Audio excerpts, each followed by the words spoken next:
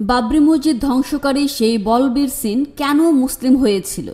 সাতাশ বছর আগে ভারতের অযোধ্যায় বাবরি মসজিদের মাথায় উঠে যারা শাবল দিয়ে আঘাত করেছিলেন তাদের একজন বলবীর সিং একসময় শিবসেনার সক্রিয় এই কর্মী আজ একজন মুসলিম। নাম পাল্টে হয়েছেন মোহাম্মদ আমির মুখ লম্বা দাড়ি রেখে আল্লাহর নাম জপেন সবসময়। ভোরে আজান দেন নিয়মিত। শুধু তাই নয়, বিভিন্ন স্থানে ভেঙে পড়া শখানেক মসজিদ মেরামত করতে চান তিনি, যেন প্রায়শ্চিত্ত। চলতি বছরের চোদ্দই জানুয়ারি ভারতের আনন্দবাজার পত্রিকার এক প্রতিবেদনে এমনটাই বলা হয়। প্রতিবেদনে বলা হয়, বাবরির মাথায় শাবলের ঘা দেওয়ার পর সবই খুইয়েছিলেন বলবীর। বাবা বাড়ি থেকে বের করে দিয়েছিলেন। না, স্ত্রীও সে সময় তার হাত ধরে বেরিয়ে আসেননি। বাবার মৃত্যুর পর বাড়ি ফিরে শুনেছিলেন, বাবা নাকি বলে গিয়েছিলেন, তার দ্বিতীয় সন্তান মানে বলবীরের মুখ যেন বাড়ির কেউ আর না দেখেন। এমনকি বলবীরকে যেন তার বাবার মুখাগ্নিও করতে না দেওয়া হয়। বদলের আরেক নাম যুগেন্দ্র পাল, বলবীরের বন্ধু। পঁচিশ বছর আগে যিনি বলবীরের সঙ্গে উঠেছিলেন বাবরির মাথায় শাবলের ঘায়ে ভেঙেছিলেন মসজিদ। বহুদিন আগে যিনি হয়ে গেছেন পুরু দস্তর মুসলিম। এই বদলে যাওয়াটা সম্ভব হলো কীভাবে? বলবীর বলেছেন, সেটাই স্বাভাবিক ছিল, কারণ তার পরিবার কোনোদিনই উগ্র হিন্দু ছিলেন না। ইতিহাস, রাষ্ট্রবিজ্ঞান আর ইংরেজি এই তিনটি বিষয়ে এম এ ডিগ্রি পাওয়া বলবীর তার মা, বাবা ভাই বোনদের নিয়ে ছোটবেলায় থাকতেন পানিপথের কাছে খুব ছোট্ট একটা গ্রামে। বলবীরের বয়স যখন দশ বছর, তখন তিনি ও তার ভাইদের পড়াশোনার জন্য বলবীরের বাবা দৌলতরাম তাদের নিয়ে চলে যান পানিপথে।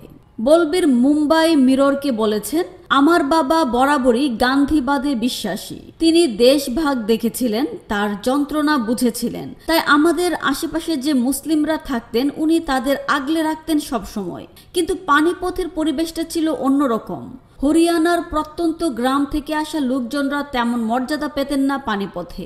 ফলে একটা গভীর দুঃখবোধ সবসময় তাড়িয়ে নিয়ে বেড়াতো বলবীর। সেই পানিপথেই একেবারে অচেনা, অজানা আর এস এর একটি শাখার কর্মীরা বলবীরকে দেখা হলে আপ আপ বলে সম্বোধন করতেন। বলবীর বলেছেন, সেটাই আমার খুব ভালো লেগেছিল। সেই থেকে ওদের সঙ্গে আমার উঠা বসা শুরু হয়। শিবসেনা করতে করতেই বিয়ে করি। এম এ করি রোহতকের মহর্ষি বিশ্ববিদ্যালয় থেকে। এই সময় প্রতিবেশীরা ভাবতেন, আমি কট্টর হিন্দু, কিন্তু বাবা কোনোদিনই মূর্তি পূজায় বিশ্বাস করতেন না।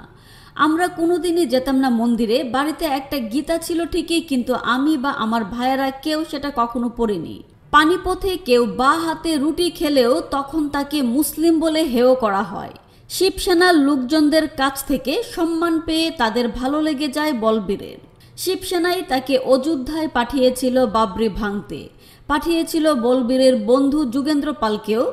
তারা হয়ে যান কর সেবক। বলবীর জানিয়েছেন, বাবরি ভেঙে পানিপথে ফিরে যাওয়ার পর সেখানে তাকে ও যুগেন্দ্রকে তুমুল সংবর্ধনা জানানো হয়।